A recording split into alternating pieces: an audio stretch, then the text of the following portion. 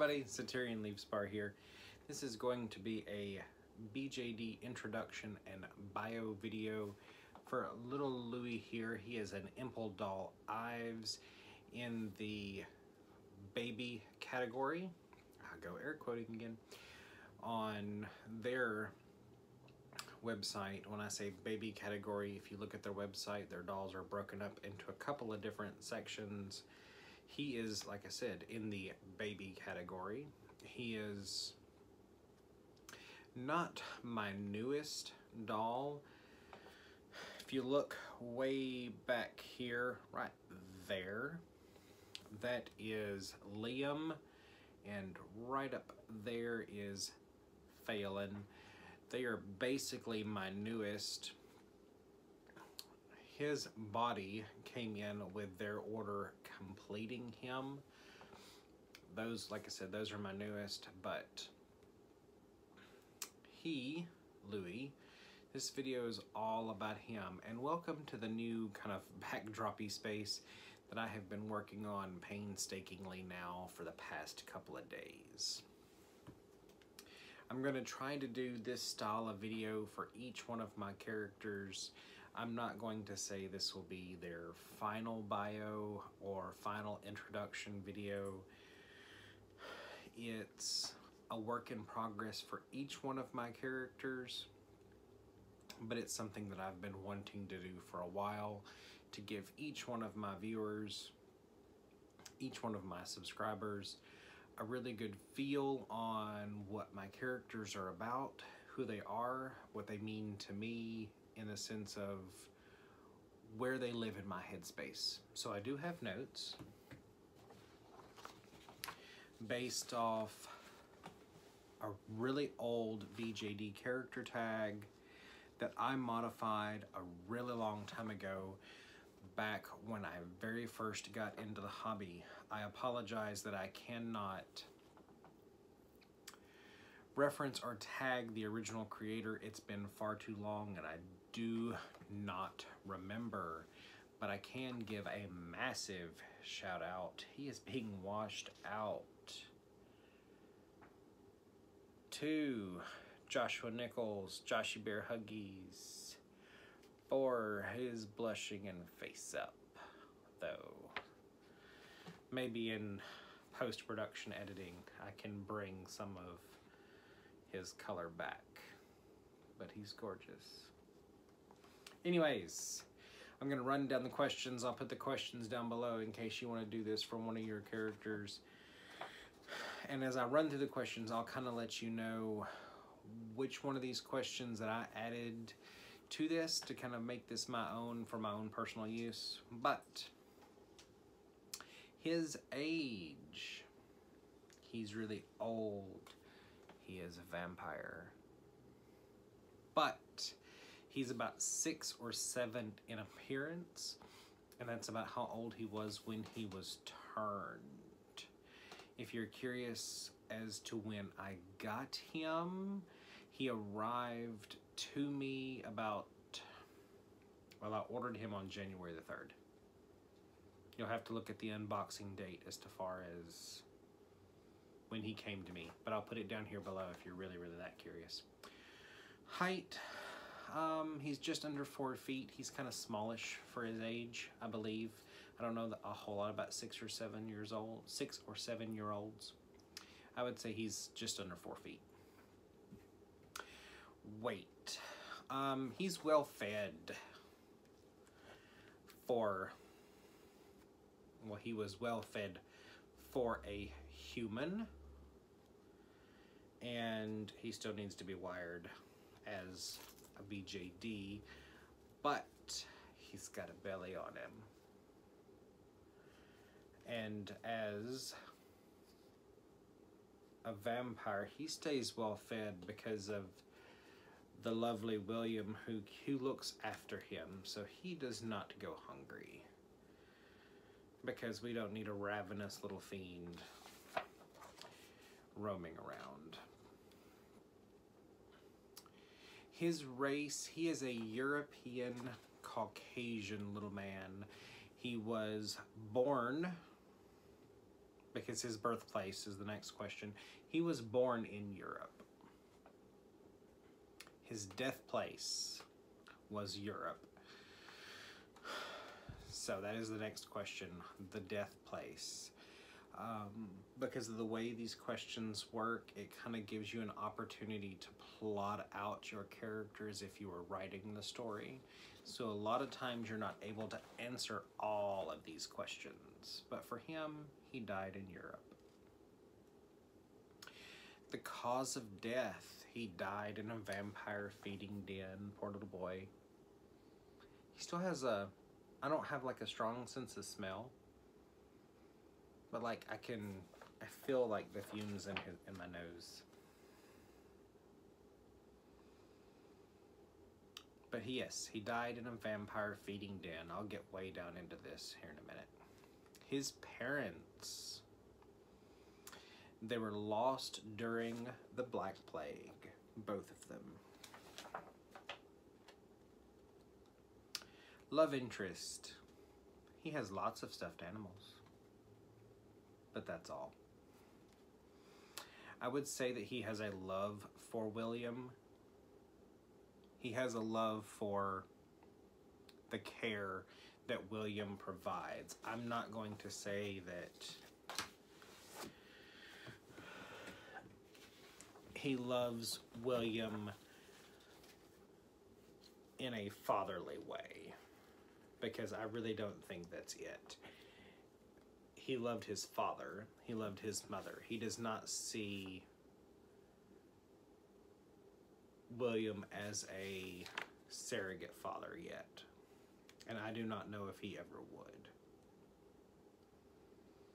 His occupation. He's a child. He will always be seen as a child. He is stuck as a child visually, therefore, he would never have the opportunity to work. Hobbies is the next question, and this I haven't really figured out for the boy. I don't know what he will do. I haven't really figured this out in my head. I know that his his demeanor is mischievous. You can just see it in that face. I'm gonna have to work on my lighting. I'm way too washed out over here. But he is very mischievous. He also likes to play jokes and play pranks on people. But I'm not exactly sure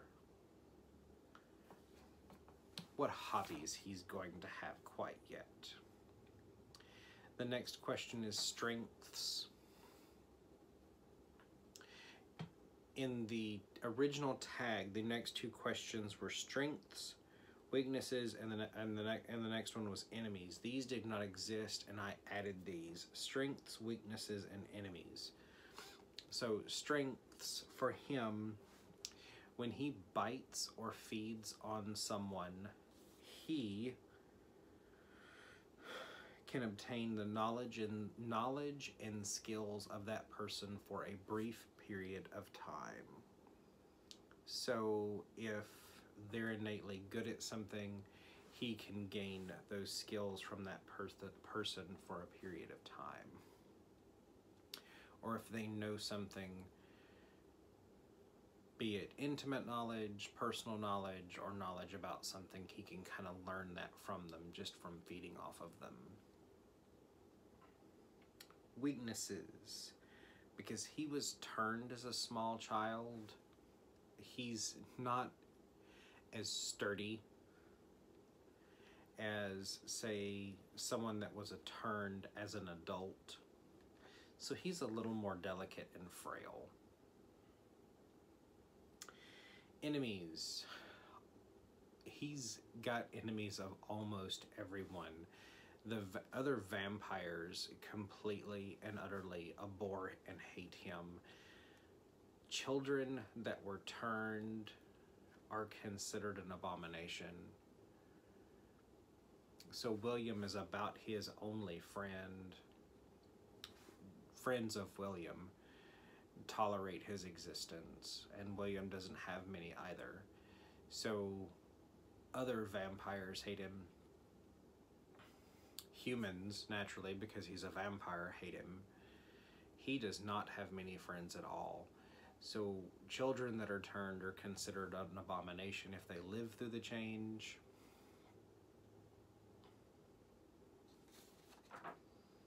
No friends other than William and the friends of William. School, he only completed a little bit of education in the primaries, the primary, I think they're called primary schools in the European school system. After he was turned, he basically went into hiding once he got with William, and then William would have taken over any formal or informal education he would have had thereafter. The next two questions are goals. He really has no lifelong goals at this point other than to survive. Then we have Keystone Artifact. This is one of my questions because a lot of my characters have what I call a Keystone Artifact. A Keystone Artifact is something that is generally magical in nature that they carry with them that has some effect on their supernatural behalf. Like my character David, which is a werewolf, it's a pendant which prevents him from fully changing and he can't take it off. This little guy has no keystone artifact. He's just a little vampire. A little vampire orphan. So now we get into timeline, which talks a little bit about his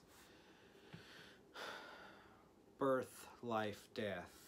We're going to get into birth itself. He was born into a regular, average family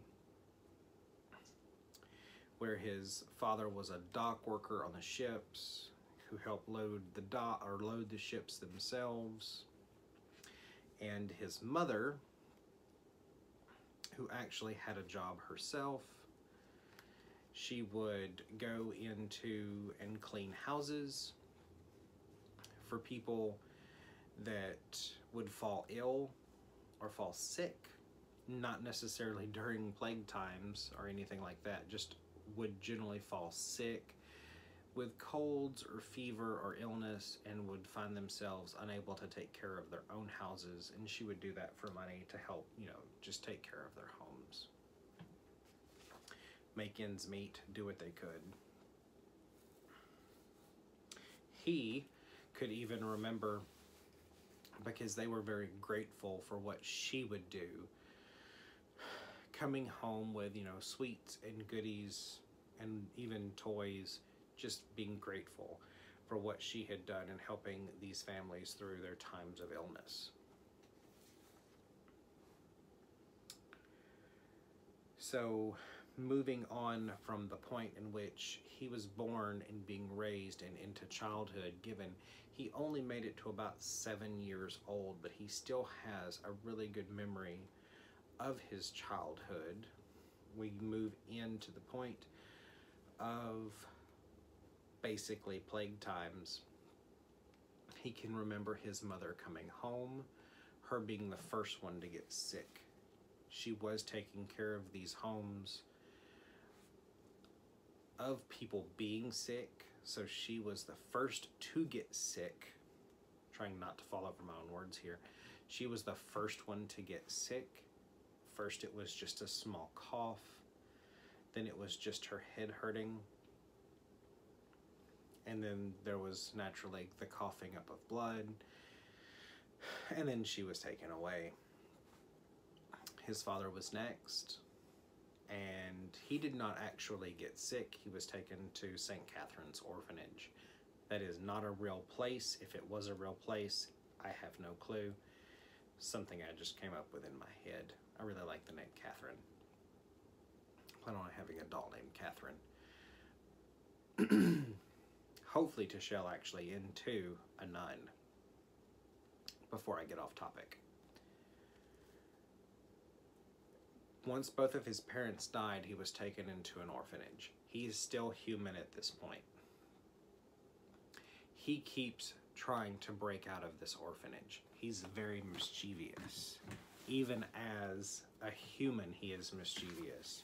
He was not being mistreated, he was not being abused by the orphanage. He just wants to go home. He finally breaks out of the orphanage. I need some water. Okay, so he finally breaks out of the orphanage. He's, like I said, he's not being mistreated, he's not being abused. He just wants to go home. Other than that's where he grew up. Six, seven years, happy family.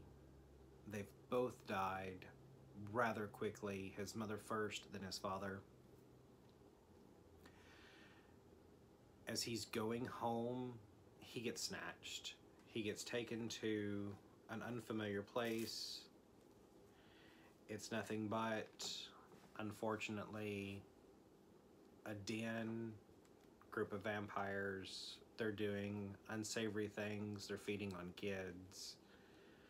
Why are they feeding on kids? It's plague times. They're not feeding on plague victims.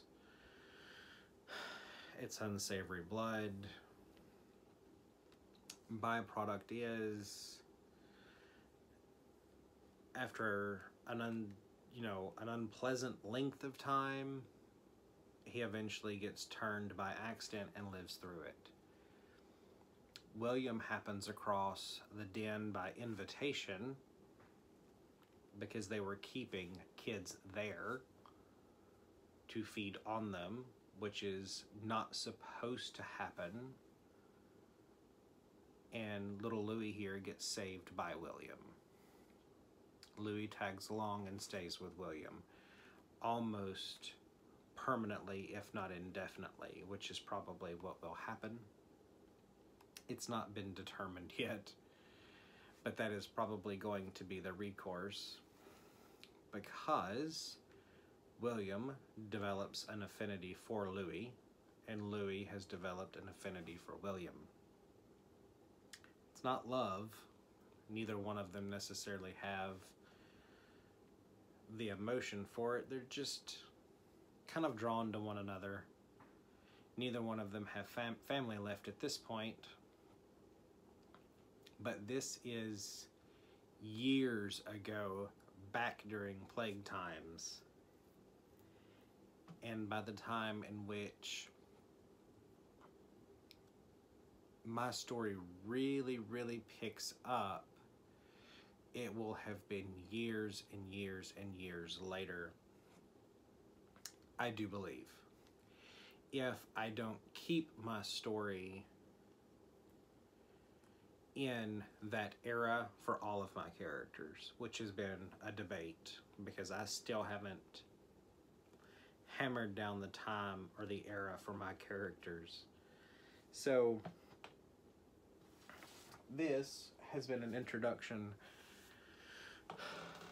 to the little Louie, the very washed out Louie, and the bright lights back here. And it's been 20 minutes. So, welcome to the new space. Welcome to Louie. I hope you've all enjoyed it. Hope you all have a great night. This is Satyrion Leafspar. Love yourself, love each other, love your dolls, everybody else's too.